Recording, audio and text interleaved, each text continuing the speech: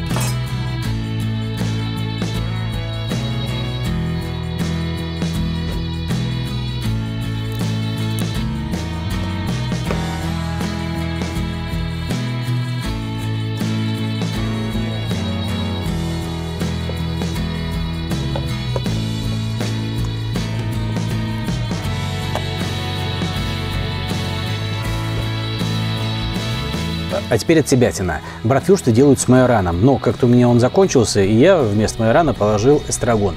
Это было так вкусно, что я затрудняюсь сказать, какой из вариантов вкуснее. Поэтому сейчас готовлю оба. Сюда эстрагон, сюда майоран.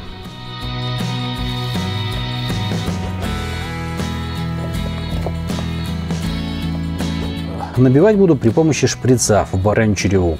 Она у меня была предварительно замочена в прохладной воде. Уж часа два, наверное, отмокает. Да, обзор этого китайского агрегата уже был. Что касается вымешивания. Во-первых, фарш должен быть холодным, то есть не выше 12 градусов. Во-вторых, вымешивать надо недолго, иначе он перегреется. В-третьих, это гриль колбаски, поэтому нитритная соль в составе не нужна. Используем обычную поваренную. Перекручивать надо колбаски, отмеряя по 7-9 ну, сантиметров.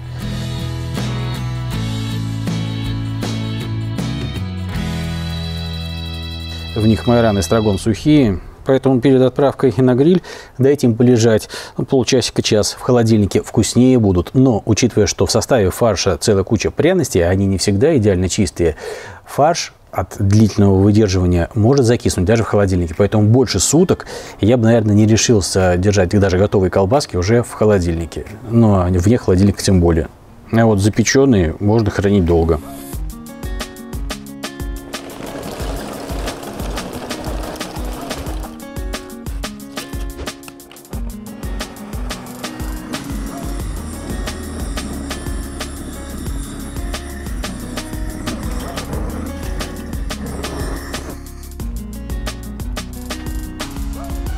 Пока разгорается, займусь салатом. Залью лук маринадом из-под огурцов и немного аккуратно пожамкую. Лук примерно полчасика промаринуется, будет очень вкусным.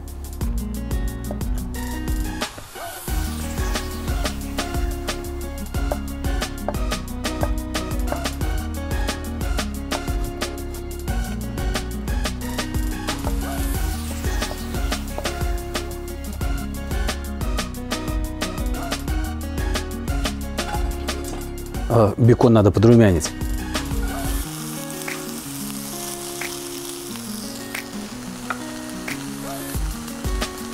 Вообще говоря, рецептов картофельных салатов в Германии больше, чем борщей на Украине. И все правильные. Кто-то, кроме бекона, еще целую кучу колбасных изделий туда кладет, кто-то даже бекон не добавляет. Мне нравится вот такой вариант.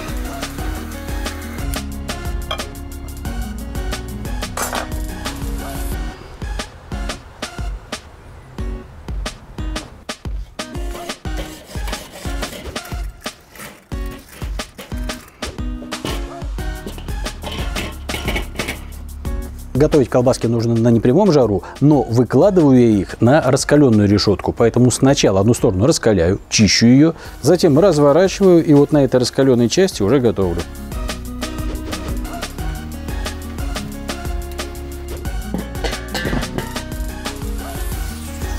Все, колбаски запекаются, а я пока завершу приготовление салата. Лук сюда. А на базе этого маринада приготовлю соус винегрет. На одну часть маринада 4 части масла ароматного оливкового экстра virgin. Помните, да, что соус винегрет это от английского винегар, то есть уксус, а в маринаде уксус присутствует.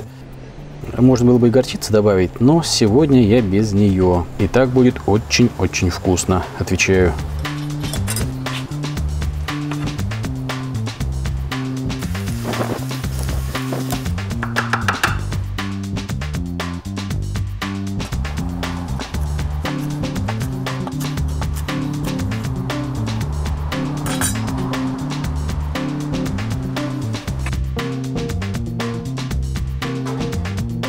Колбаски уже готовы, я думаю.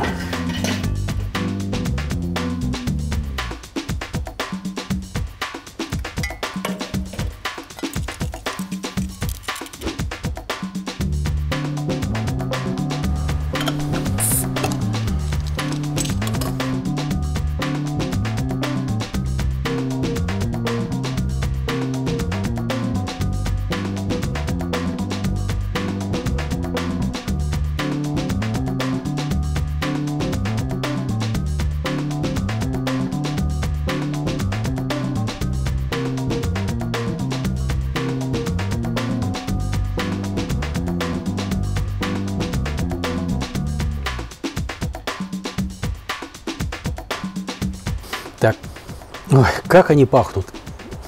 Потому вот цедра цитрусовых и лимона, и лайма, они так классно заставляют звучать вот эти вот колбаски на гриле, просто песня какая-то. Это с майораном. Классные, классные. А если еще и с брецелем, ну-ка.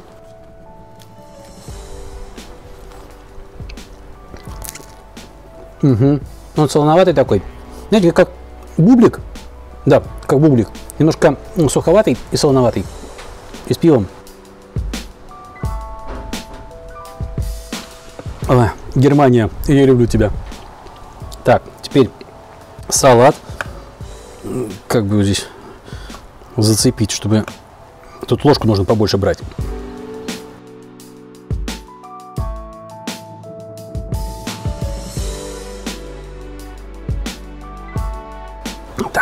Сейчас я вам скажу свое мнение.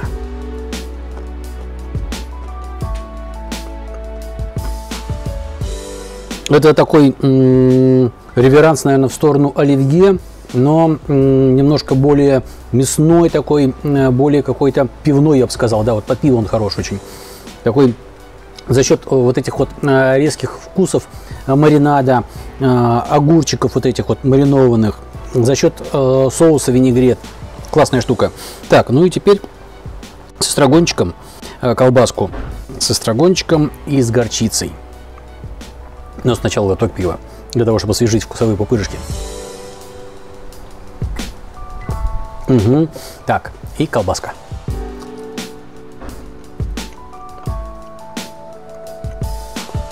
Наверное, все-таки с эстрагоном мне нравится больше.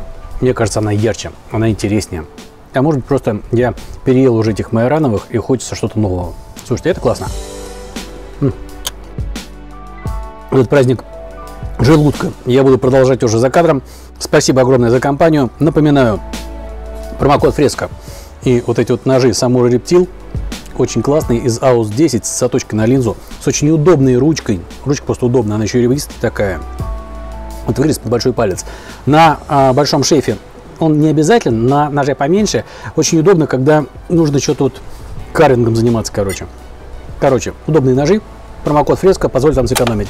Огромное спасибо за компанию, за лайки, за дизлайки, за то, что пьете пиво со мной э, там за экраном. Спасибо за компанию. Всем пока!